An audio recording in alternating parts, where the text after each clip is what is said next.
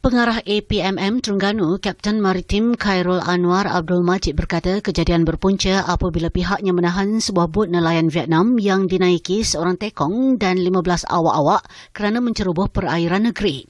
Semasa menjalankan pemeriksaan, nelayan berkenaan telah bertindak agresif dengan menyerang dan mencederakan mangsa serta anggota APMM yang lain. Katanya, kesemua kru bot telah mengambil tindakan nekat dengan menyerang pegawai serta anggota APMM Terengganu yang berada dalam bot mereka.